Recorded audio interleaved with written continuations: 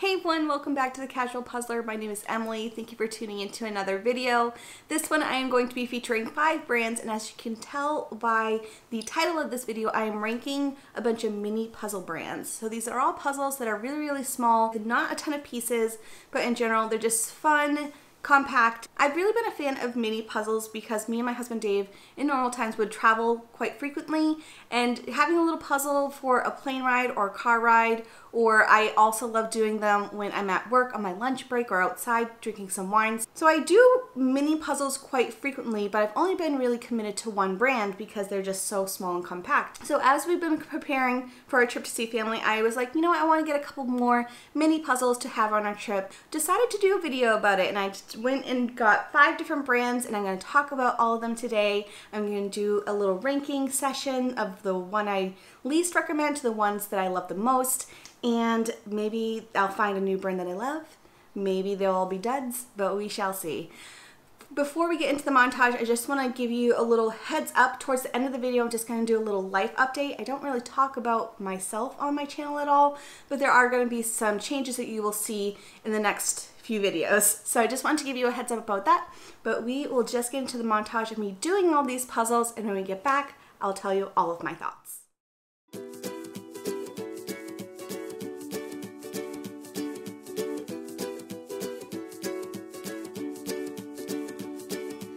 Great yellow sun is reflecting in your deep blue eyes. The day has begun. You spin around, you spin around, you laugh to yourself.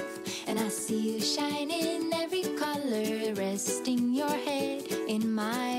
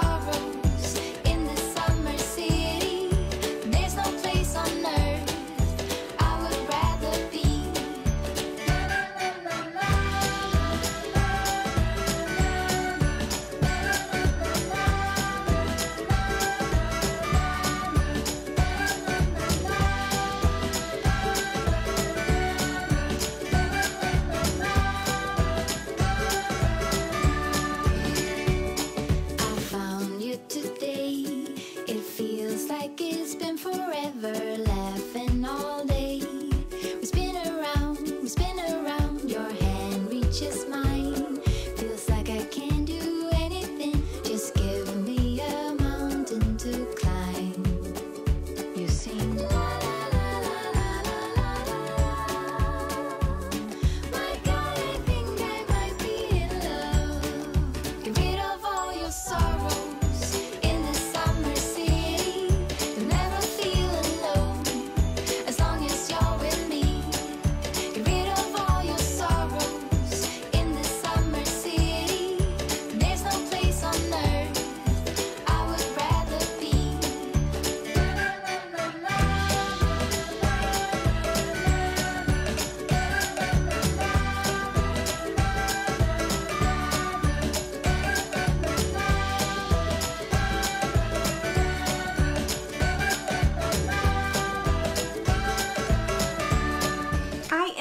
I hope you liked watching me put all these puzzles together.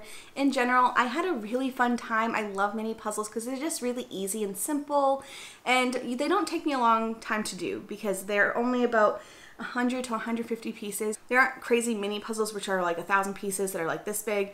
I really like things for the compact and travel friendly ability. So puzzle brand that I had the most issues with, and this is based off the one puzzle that I did, is by Chronicle Books, and it is the one that is the chocolate box puzzle or the, a little something chocolate. This is such a good concept because I could see this being like a really fun Valentine's gift or a little stocking stuffer. They had a few different options. It is on the higher end of pricing compared to all of these. This was, was around $10. It is 150 pieces and again I do like the concept but I had a lot of quality issues with this puzzle. My biggest issue was the pieces. They had a very lightweight quality to them. I hope I can just describe this correctly. You know how some puzzles just feel like they're hollow inside, like the pieces feel squishy and that they're not just well made. They're not like that nice thick cardboard. Even though these pieces were thick, they just didn't have, it didn't feel like foam. It's definitely a cardboard, but it definitely didn't feel like a high quality puzzle piece.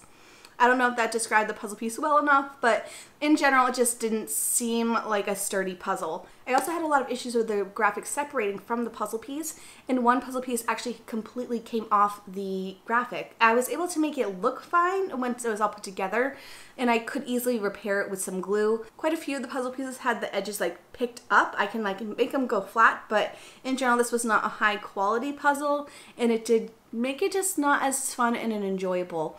I do like, however, that the puzzle pieces do stay really, really well together. You can pick up the whole entire thing without any issues, and they fit really well and snugly. This one, unfortunately, I would not recommend just because of the quality issues for the price. I think you can do better. The next puzzle brand, I'm not quite sure what the puzzle brand even is. If I can find it on Amazon, I'll put it on a screen. This is one that I can definitely see is the dupe for the one that's in the number one spot. So this one here is a mini puzzle brand from China. You can get a three pack, which is what I did. They had a whole bunch of different varieties. I got it on Amazon. They were $13.99 for the whole entire pack. So price wise, it's really good. I did have some issues with it though. First off, I had a lot of pieces where the graphic was peeling around the edges similar to the chocolate one, but not as bad as the chocolate one where they're completely coming off. I did like the piece size. I like how small this puzzle is because it is really, really compact. I can do it like on a book or outside on my patio with no issues. So I do like that this has a variety of different shapes. You know, they're the traditional puzzle shapes so that they aren't all the twos. I think that's what someone called them before. However, the graphic itself was very blurry. It was hard to see clear lines. The puzzle pieces didn't stick well together. You know, you could easily like move the whole puzzle about. So I feel like it was definitely like a two-handed process for this whole entire puzzle because you have to like keep it in place to put the piece down. When you see the close-ups, I'm you can't see my other hand, but I really had to work to make sure the puzzle didn't move about because it was just didn't have that secure fit. It was just it was a good puzzle brand, you know, if you are in a pinch or if you just want some really cute stocking stuffers. I can see these being like a great gift. You know, they're not completely unusable, but it just wasn't my favorite brand. I am excited though to still have two more to do. I mean, I'm still going to do the puzzles. It wasn't like I didn't enjoy it, but it was definitely more challenging than it needed to be. The puzzle that is in the middle of the road is this one from Galison. This is the You're Sweet puzzle, which I also think would be really fun for Valentine's Day or Christmas gift or like they had a whole bunch of different varieties. I already like Galison puzzles anyways and I was so excited to find that they have mini ones. This one looks like it was actually made to be a Valentine's gift because it has a little part on the back where you can write stuff down. This is the only one that was 100 pieces. I think everything else was 150 if I remember correctly. Um, this one retailed for about $8, so not the highest in price, but I really enjoyed this puzzle. It was really fun to put together. It's definitely larger in size once it's all said and done. So that's why it's kind of in the middle of the road for size wise, but also the pieces just didn't sit securely together. Um, it did better than these guys here, but it was one that like if you knocked it or if a cat jumped up, they would easily just like spread apart. So that's why it's in the middle of the but I did like how matte it was. I loved how vibrant it was. The piece quality was fantastic, similar to the other Galison puzzles. They just have really good snap to them. They're really thick and heavy duty pieces, but in general, I just had issues with it staying together. It's a little bit larger in size, and I just prefer the other two puzzles that are in the ranking more than this one, but would buy more from them. It was really fun to do. The top two puzzle brands I really had a hard time deciding which one needed to be in the top spot. Either way, I would buy more from both of these puzzles. I had so much fun putting them together, highly recommend them. And one I just prefer because of the price point and the variety of puzzles versus the other ones. But the puzzle in the second place spot was one that was a wooden puzzle. I was so excited to get this puzzle because I've always wanted to do a wooden puzzle. They're are expensive. I was able to find this one on Amazon. It was $20, so the highest in price point compared to all of these, but you guys, it's a wooden puzzle. I got this one. It is called King of the Jungle Lion, and I'll put in close-up so you can see just how beautiful this puzzle is. I 100% would buy more from this brand. The puzzles are wooden, they're really thick. They do fit well together, but it is a wooden puzzle so they don't have that, that quite secure fit that most cardboard puzzles do. I really love the intricate shapes and puzzle pieces. I loved that they had those very unique puzzle pieces. There's one that's like a cup. We have like a couple axes. There was a bird. They had quite a few different like of those specific piece shapes, which was just like extra little added bonus. This one also was a little bit more challenging because of the intricate patterns inside. So it gave me a little bit of challenge. It took me longer to do, but I just love how beautiful this wooden box is. It comes with a little easel so you can pop up the box top while you're doing it. It also comes with like a little burlap bag for the pieces.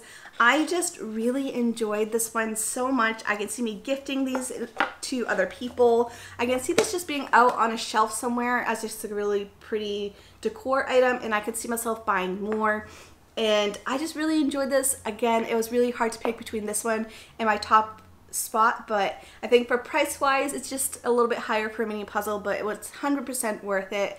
And if you haven't tried one, I'll leave all the puzzles that I, I did in this video down below, but I can see myself buying more of this. I really enjoyed it. And then my top spot, which I'm surprised because I was doing this video to find new brands that would be in the top spot, but the one that is still here is my favorite mini puzzle brand, the one that I've been doing for quite some time, and that is micro puzzles.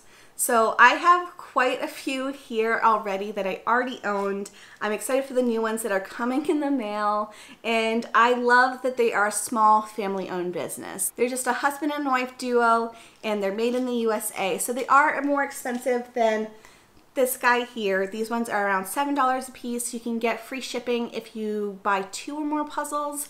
They also have a subscription box if you are one that just wants a new puzzle here and there. Um, but I just really have been loving these puzzles. They're really, really compact. They come up to be like a four by six little postcard size. The puzzle pieces stick really well together. You can pick up the whole entire thing, like hang it upside down.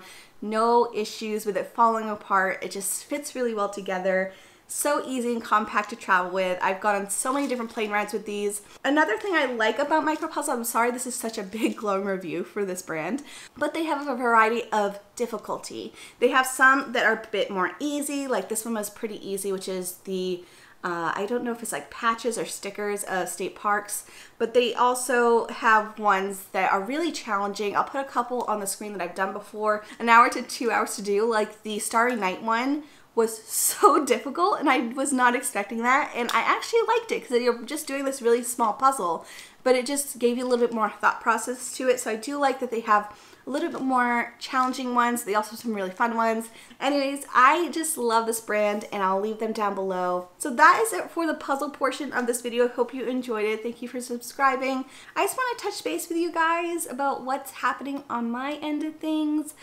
crazy life stuff is happening right now. I know I missed a week's upload. I try to post at least once per week, but sometimes life just gets in the way. I am a full-time employee. I'm also a full-time student and I've been trying to do YouTube videos, which has been so challenging. You guys don't know this, but I do work at Sephora currently.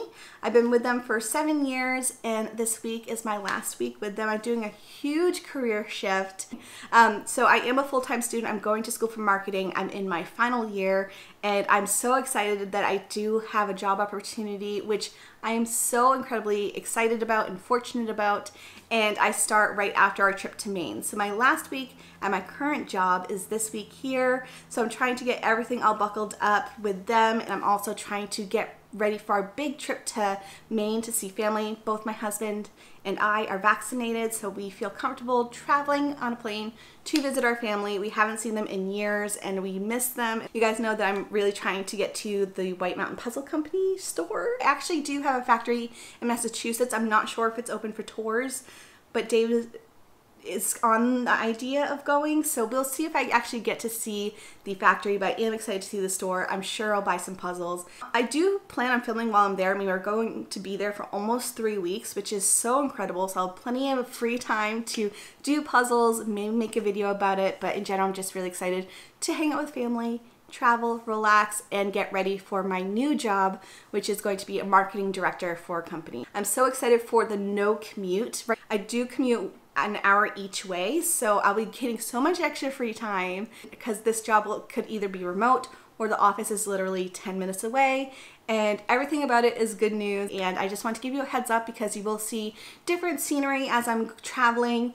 Um, you'll probably see a few puzzle videos. I do plan on doing one more puzzle video before I leave and then I'll be filming while I'm there and I'm just all around excited but I just wanted to give you a heads up of why I missed last week's video. It's just there's a lot happening. So um, we also went to Disneyland a couple times which uh, I missed so much. Anyways, that's it for me. Thank you so much for tuning into this video. I hope you enjoyed it. I had so much fun filming it, so much fun putting these puzzles together, and I will see you guys all in the next video. Thank you so much. Bye.